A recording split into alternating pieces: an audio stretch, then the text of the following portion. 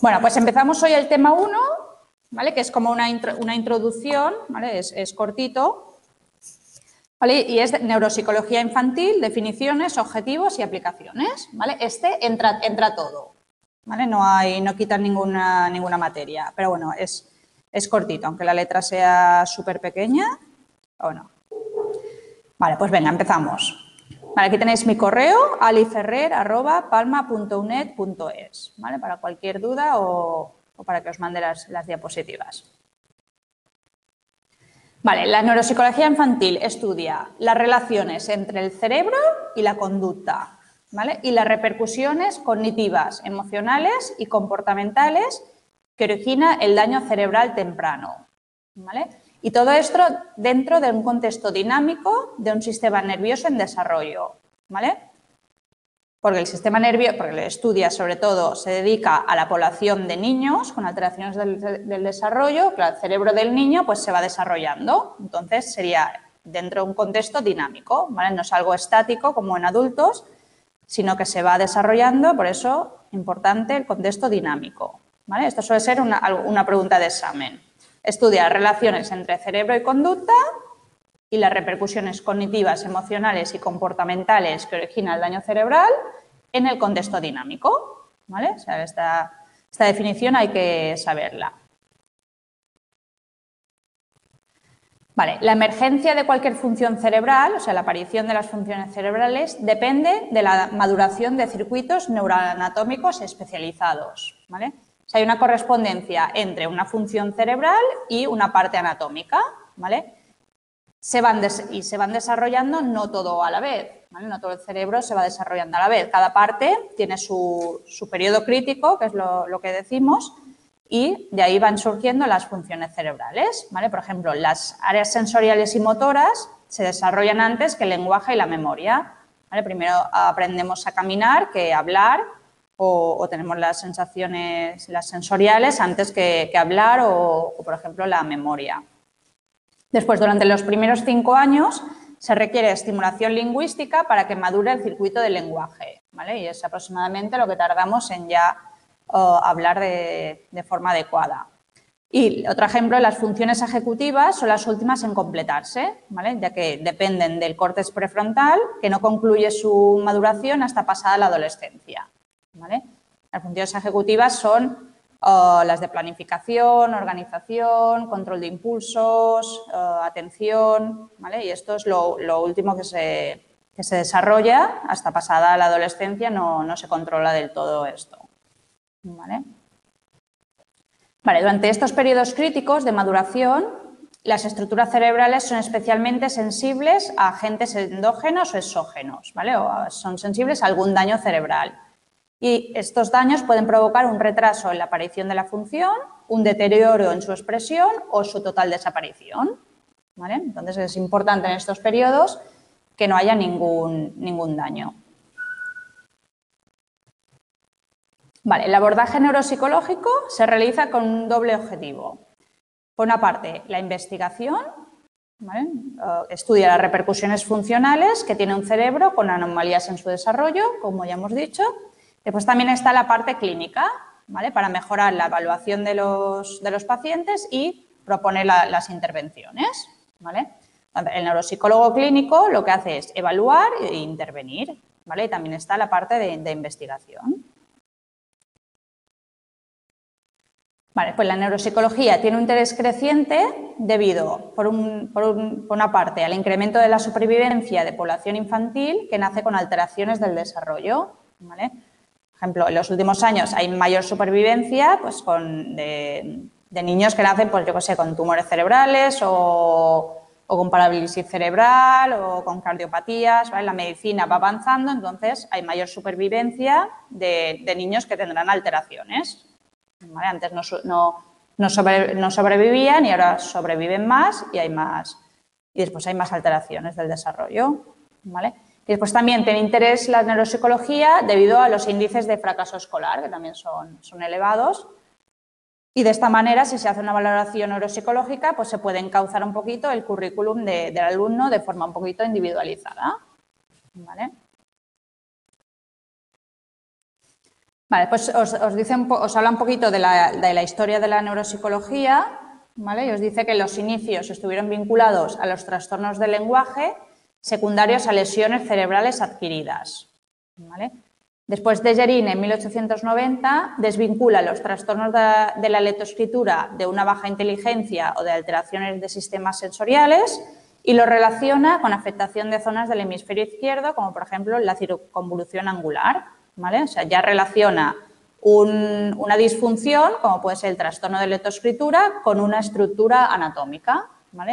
Y antes, anteriormente se pensaba si, había trastorno de lectoescritura, pues era o por un problema sensorial o un problema de, inteligencia, ¿vale? Ya se va relacionando función con, estructura. Después, Morgan, en 1896, presenta el caso de un adolescente con problemas de lectoescritura similares a los detectados tras lesiones adquiridas, pero en este caso sin un daño cerebral aparente. ¿vale? O sea, no había una lesión cerebral adquirida, pero sí que había los problemas de leptoescritura. ¿vale? Se convirtió en el primer caso de dislexia del desarrollo. ¿vale? No por una, había dislexia no por una eh, lesión cerebral adquirida, sino por un trastorno del desarrollo. ¿vale? Y en décadas posteriores se investiga la relación entre dislexia y la preferencia manual zurda y los beneficios del entrenamiento sobre las habilidades de lectura. Vale, pues a partir de 1900 hay un gran interés por las dificultades de aprendizaje, que por, esa época las denominaban disfunción cerebral mínima. Y se desglosan en esa época los como trastornos específicos, dislexia, que sería de lectoescritura, disgrafía, de escritura, discalculia, de, cálculo. O sea, dis, el prefijo dis significa dificultad o anomalía.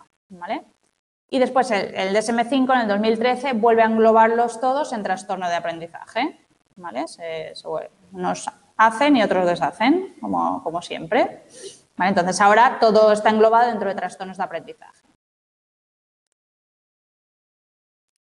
Después, eh, estos nombres sí que os tenéis que quedar con ellos. Vygotsky y su discípulo Luria, que coincidieron en el Instituto de Psicología de Moscú en 1920, eh, empiezan a hablar de que el desarrollo del niño, en el desarrollo del niño hay que contar también con la influencia de la experiencia social. No solo con la, genética, sino también con la experiencia social. Y una de las experiencias sociales más relevantes para el niño es la escuela, que es donde pasa la, mayor parte del tiempo.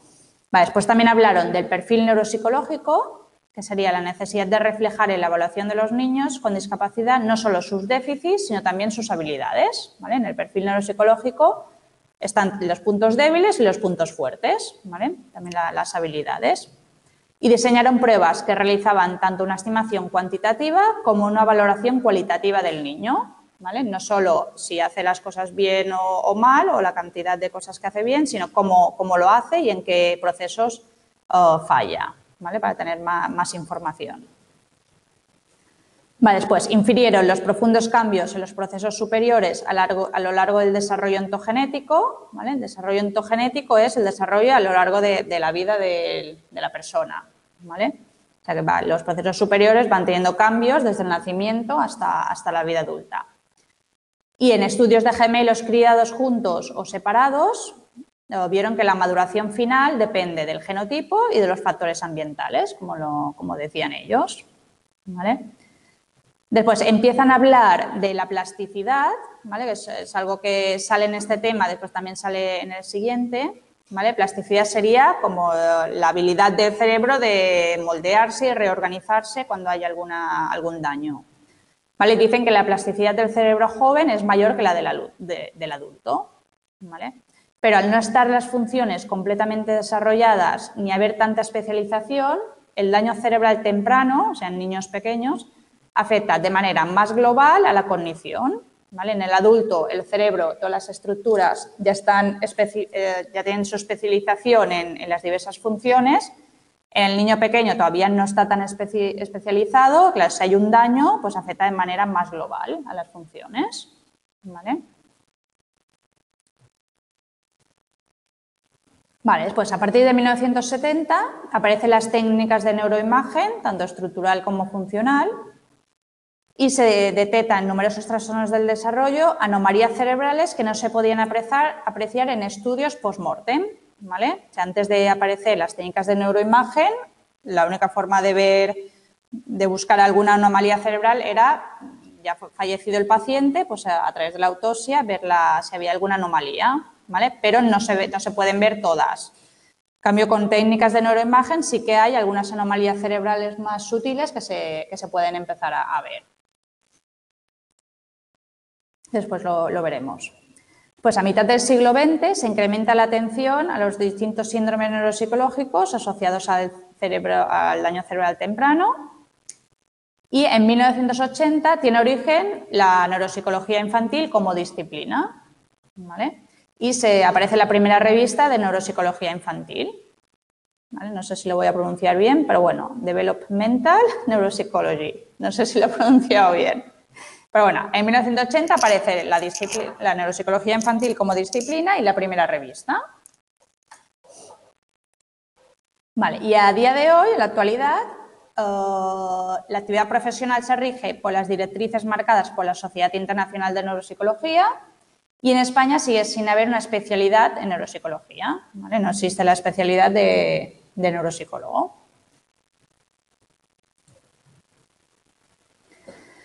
Vale, esto era la, historia. Uh, ahora pasamos a la neuropsicología como una ciencia biopsicosocial. ¿Vale? Bio de biología, psico de psicología y social de social. ¿vale? Vale, para entender las alteraciones del desarrollo resulta imprescindible conocer, por una parte, la evolución ontogenética del sistema, del sistema nervioso y en particular del cerebro, ¿vale? O sea, cómo madura el cerebro a lo largo de, del desarrollo de la persona, que esto lo veremos en el, tema 2, ¿vale? desarrollo entogenético, y también hay que conocer los cambios que se producen en el curso de esta evolución tras la aparición de un daño cerebral temprano. Así podríamos entender las alteraciones del desarrollo. Primero hay que entender la normalidad, la evolución ontogenética y después qué cambios se producen tras un daño. Vale, con la neuroimagen tanto las, las, técnicas básicas como el TAC o la resonancia magnética nuclear estructural, como las más específicas, la que sería la funcional o la tractografía, para ver los... La tractografía permite visualizar los tractos nerviosos, las fibras nerviosas pues se han podido visualizar los mecanismos de plasticidad y el patrón de reorganización del cerebro tras la lesión. Con el antes y el después se pueden ver esta reorganización que, tiene el cerebro tras una lesión. Y también se ha confirmado el papel tan relevante del medio ambiente y la experiencia en la configuración final del sistema nervioso y de su actividad funcional, gracias a, las nuevas técnicas de neuroimagen. Entonces, para comprender las funciones superiores hay que estudiarlas en relación con el medio en que se desenvuelve el individuo. Y la maduración de las funciones cognitivas, emocionales o comportamentales es lo mismo, tiene influencia decisiva en el contexto con el sistema nervioso, o sea, tiene una influencia decisiva el contexto con que el sistema nervioso interacciona desde etapas prenatales, es lo mismo, lo que ya decía Vygotsky que depende la maduración del contexto en el que se desarrolla el niño. Y hay que tenerlo en cuenta. Vale, después la neuroimagen, dentro de la neurociencia social, ¿vale? que estudia el cerebro y la interacción social con los demás, se ha descrito una red de conexiones entre estructuras cerebrales que median este comportamiento social. ¿vale? Como por ejemplo, desde los dos días de vida el neonato ya muestra una preferencia por el movimiento biológico en, contrapartida con el movimiento de, objetos y una atención especial a regiones faciales específicas, sobre todo en la frente y los ojos, ya desde los dos días de vida. Después, el reconocimiento de caras se relaciona con circunvoluciones fusiforme y temporal superior y es evidente a partir de los tres meses de vida. ¿La neurociencia social es lo mismo que la neuropsicología? Mm, no, no, la neurociencia social estudia el cerebro um, o sea, La función del cerebro es la interrelación entre las personas, en las relaciones sociales. ¿vale? Relaciona el cerebro con las relaciones sociales. La neuropsicología estudia las alteraciones del desarrollo del cerebro. ¿Vale? Y después, por ejemplo, otro ejemplo, las funciones de regulación emocional requieren más tiempo hasta que se configuran áreas prefrontales y del cíngulo, ¿vale? esto quiere decir que los comportamientos sociales también tienen relación con estructuras anatómicas, ¿vale?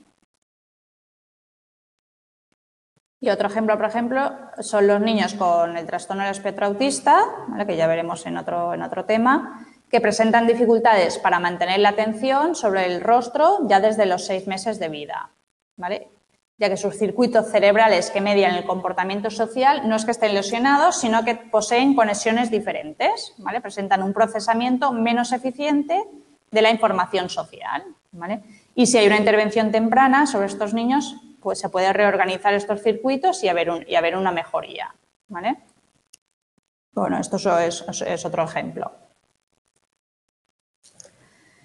Entonces, para comprender, en resumen, para comprender a los niños con trastornos del desarrollo hay que conocer las anomalías del sistema nervioso, ¿vale? o sea, lo biológico, que lo estudia la neurociencia, los procesos que resultarán afectados, o sea, lo psicológico, lo estudia la psicología o neurociencia cognitiva, y las repercusiones que percibirán sobre el comportamiento particular del individuo y en relación con sus interacciones sociales, sea, lo social, lo estudia la neurociencia social, ¿vale? Entonces es biopsicosocial. La mayoría de trastornos mentales hay la parte bio, biopsicosocial, vamos, bueno, prácticamente todas, tienen las tres partes. Vale, después os habla de la diferencia entre neuropsicología infantil y, adultos. ¿vale? En adultos se trabaja con cerebros ya configurados, o sea, la, estructura anatómica ya está configurada y cada estructura se dedica a, una función diferente, mientras que en infantil se estudia un cerebro en desarrollo, ¿vale? con cambios dinámicos en su organización anatómica y funcional. ¿vale? Esto es importante. Entonces, no podemos eh, evaluar o tratar a los niños, al cerebro del niño, como si fuera un cerebro adulto, pero en miniatura. ¿vale? Es, es distinto porque todavía se está configurando. Vale, pues la etiología del daño cerebral, etiología significa causa, ¿vale? En adultos la mayoría de las lesiones son por una lesión cerebral adquirida, ¿vale? O un, traumatismo, o un tumor, o una hemorragia, ¿vale? Y ocasiona daños más focales, ¿vale? Donde esté situada la lesión, pues será, producirá un daño en, ese, en, la función que, se, que dependa de esa, de esa estructura dañada, ¿vale? cambio, en los niños son más frecuentes las alteraciones congénitas, ¿vale? ya de, nacimiento, y provoca síntomas más difusos y mayor secuelas funcionales que en el adulto, por lo que hemos dicho antes, como todavía no está especializado en funciones la, estructura anatómica, pues los síntomas serán más difusos y con mayores secuelas. Vale, después, en las pruebas de neuroimagen las lesiones adquiridas sí que se suelen detectar con una simple resonancia o un simple TAC. ¿vale? es fácil de detectar o el tumor o la hemorragia o, la, o, o, una infección o cualquier cosa, sí que se puede detectar con facilidad con TAC o resonancia.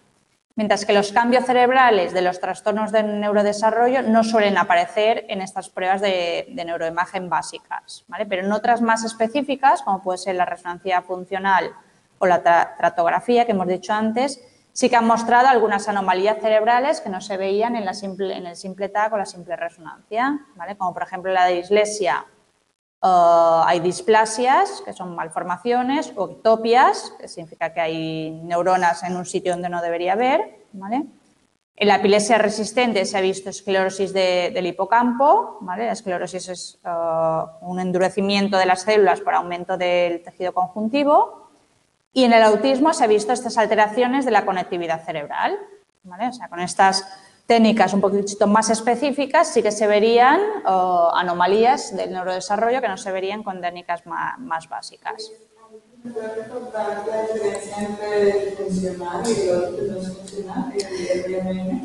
La resonancia normal es solo la foto de la estructura, de la, anatomía y funcional, pues eh, cómo funciona, no, a través de, por ejemplo, captación de... No sé cómo ahora, no sé cómo explicarlo. El, cómo funciona. A través de la funcional utiliza, no sé, ahora no sé qué, qué sustrato se utiliza, pero es, si os habéis fijado alguna vez alguna resonancia que hay por colores, hay colores eh, azules, rojos, pues, y eso es la funcionalidad de, de las áreas del cerebro, ¿vale? Mediante algunos, algunos sustratos que se inyectan, pues se puede ver cómo está funcionando cada, cada parte del cerebro. ¿vale? Y esto sería la resonancia funcional. ¿Vale? Vale, y después también hay que tener en cuenta que los resultados compatibles con la normalidad en los protocolos de exploración de niños con alteraciones del neurodesarrollo no se correlacionan con las observaciones clínicas. O sea, si tenemos un niño con mucha sintomatología en consulta y le hacemos un TAC o una resonancia simple, pues aparecerá seguramente con, normalidad, ¿vale? Y no se correlaciona la clínica con los resultados, ¿vale? Un resultado normal en una resonancia, un TAC, no descarta que haya un trastorno del neurodesarrollo. La mayoría de veces sale normal, ¿vale? O un electroencefalograma pues suele salir normal porque las pruebas estas más específicas no se suelen hacer. Solo más eh, en investigación. Vale, después la orientación diagnóstica. El diagnóstico suele ser difícil de precisar cuando el niño es muy pequeño, porque muchos síntomas se solapan con muchos trastornos del neurodesarrollo. Si el niño es muy pequeño mm, puede haber, puede haber confusión como para dar un diagnóstico preciso y se aconseja cautela y seguimiento de la evolución durante tiempo prolongado, que incluso puede ser, puede ser años, antes de poder dar un diagnóstico. A veces la disfunción permanece estable o, otras veces se modifica, ¿vale? o mejora o, empeora, ¿vale? y se cree que ah, quizás nunca hay que abandonar el seguimiento evolutivo de un niño con alteraciones en el neurodesarrollo, ¿vale? que habría que, que llevar un seguimiento hasta, hasta la edad adulta aunque a veces es, difícil, pero bueno, es lo que tocaría. Después, en cuanto a la evolución del pronóstico, en adultos la, funcionalidad premórbida, premórbida significa antes de, la enfermedad, contribuye a predecir la evolución de los déficits. ¿vale? si, antes del trauma, de, de la patología, hay una buena función cognitiva, pues la evolución puede ser, puede ser mejor. ¿vale? Cambio, en niños con alteraciones del desarrollo es más difícil de realizar un pronóstico ya que no se cuenta con un nivel premórbido. ¿vale? Si ya es, son alteraciones congénitas, con el desarrollo temprano, pues no tenemos una, un, nivel anterior. ¿vale? No podemos, el pronóstico es más, es más difícil de, de decir. Vale, ahora os vuelvo a hablar de la plasticidad cerebral que también se verá en el próximo tema, ¿vale? Es plasticidad versus vulnerabilidad, ¿vale? Y esto también lo tenéis que, saber, el principio de Kennard o plasticidad total, ¿vale? Que lo propuso Margaret Kennard en 1940 y decía que cualquier daño cerebral temprano apenas origina secuelas, ¿vale? Lo contrario de lo que, de lo que se piensa ahora, ¿vale? Hebb en 1949 ya demostró que este principio era falso y cada vez hay más evidencia en contra. El principio de Kennard dice que cualquier daño cerebral temprano apenas origina secuelas, pero no, se ha visto que no, es así. sí que se, ha visto que el cerebro del niño es mucho más plástico que el del adulto, o sea, tiene más capacidad para reorganizarse y una mayor recuperación funcional, pero a la vez es más vulnerable, ¿vale? Y las repercusiones de una lesión cerebral temprana son más graves y globales, como hemos dicho, porque afectan a un organismo en proceso de aprendizaje y de adquisición de habilidades. Entonces, cuanto más precoz sea una lesión, mayor vulnerabilidad y mayor, mayores secuelas. Por una parte, sí que sería más plástico y podría reorganizarse mejor, pero como las lesiones son más graves y globales, pues hay peor, peor pronóstico. Por una parte es más plástico, pero por otro es más vulnerable el cerebro del niño a edades tempranas. De esto se volverá a hablar en el siguiente tema. Vale, después el tiempo de evolución desde que se produjo el daño en el adulto siempre es más corto que en el niño, ¿vale? Porque tendrá, el niño tendrá que convivir con el déficit probablemente durante toda su vida, Y el adulto, si el daño se produce con 50 años, pues le queda menos, menos tiempo de vida en teoría que un niño de si la alteración se produce en los primeros meses. Pues en el niño, la edad de la, también hay que tener en cuenta que la edad de la lesión y de la aparición de los síntomas no tiene por qué coincidir. Una lesión cerebral temprana puede interferir en el desarrollo evolutivo y originar déficits que aparecerán años después. Por ejemplo, si hay algún trauma o algún daño que se produce a nivel de la zona del lenguaje, si se produce este daño a los dos meses de edad, no habrá ningún síntoma pero sí que aparecerá el, déficit o la, disfuncionalidad cuando em, tenga que empezar a aprender a hablar. ¿vale? Si la zona del lenguaje está afectada, pues se, saldrá a la luz el déficit a la edad que el niño tenga que aprender a hablar, que tendrá las dificultades. Por tanto, la, edad de la lesión y la aparición de los síntomas no tiene por qué coincidir. Si el niño tiene ya seis años y se lesiona una zona del, lenguaje, sí que coincidirá con las dificultades del lenguaje porque ya la tenía adquirida. ¿Vale? muchos trastornos de desarrollo tienen un fuerte componente genético, lo que hace que el cerebro se configure de manera diferente y una, función se ejecute de manera diferente. ¿vale? Si ya tiene componente genético, ya se configura de forma diferente. Vale, y las alteraciones del desarrollo, lo mismo que hemos estado diciendo, configuran un patrón eh, anatómico y funcional diferente. Tanto hay la afectación, la estructura anatómica se correlaciona con afectación en las funciones. Y la temporalidad de la adquisición de hitos evolutivos en un cerebro con alteraciones del desarrollo puede ser totalmente diferente a un cerebro sano. Si hay alguna alteración del desarrollo, del neurodesarrollo. No podemos esperar, por ejemplo, que el niño ande a la, edad que andan con normalidad o que adquiera el lenguaje a la edad que, se adquiere. Puede ser la temporalidad muy, diferente que, hay que tenerlo en cuenta. Y por último tenemos la evaluación neuropsicológica y la intervención neuropsicológica, que lo haría el neuropsicólogo clínico. En cuanto a la evaluación, también difiere el proceso de evaluación en niños y adultos, difiere en la orientación diagnóstica que podemos pensar que, tenga, en el contexto de la evaluación, en los datos que hay que recabar y en los instrumentos de medida. la finalidad es comprobar las consecuencias del funcionamiento alterado del sistema nervioso, tanto en la cognición como en la emoción como en la conducta, que es lo que hemos dicho al principio, que puede estar alterado debido a un daño cerebral. Y el propósito es plantear métodos adecuados de intervención. Primero se evalúa y después se propone la, intervención.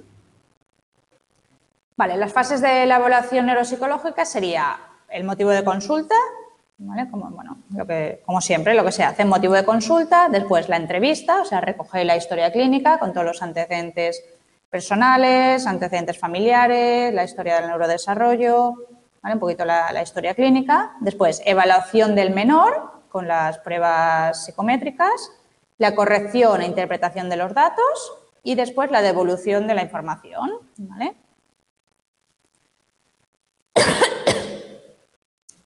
Hay que tener en cuenta que el motivo de consulta por el que vienen los padres no tiene por qué coincidir con la situación real. Por ejemplo, pueden venir, el motivo de consulta puede ser que el niño no, no come bien y se pueden ir con un diagnóstico de autismo. Pobres. ¿Vale? O sea, que el motivo de consulta no, a lo mejor no, no, después no tiene nada que ver con lo que, o yo qué sé, por rabietas y se pueden ir con, no sé, con un TDAH o, con un trastorno de aprendizaje, ¿vale? O sea, que el motivo de consulta sí que se pide, pero después hay que hacer bien la, la valoración. Después, en la primera entrevista suelen acudir los padres y el niño, si es muy pequeño. Después, si el niño es mayor de cuatro años, puede que vengan los padres solos, por si quieren decir algo delante del niño que no, que no quieran que lo oiga. Y con 12 años o más es importante también recabar la propia, la propia opinión del, niño, ¿vale? Y a veces eh, a solas, no con los padres, porque a veces no quieren hablar con los padres delante. Vale, pues hay que seleccionar los test que midan mejor los procesos afectados, ¿vale? Si sospechas un trastorno de lectoescritura, pues hay que pasarle un test que valore la lectoescritura, no le pasas un test que valore otra cosa totalmente distinta, ¿vale? No se trata de hacer mil tests sin, saber qué es lo, para qué los haces, sino que escoger los test que midan lo que quieres, lo que quieres medir, ¿vale? Después, la evaluación tiene que ser muy flexible, pudiendo abandonar por cansancio del niño y, retomarlo otro día. ¿vale? Después, han de usarse materiales adaptados y atrayentes para la población infantil y empezar también por, pruebas que sean más fáciles o más, más, motivantes o más atrayentes y tienen que estar adaptadas a la edad del niño. Son cosas obvias, pero bueno. Después, está bien incluir una valoración cognitiva general, proporcionando el nivel de inteligencia para tener una, idea.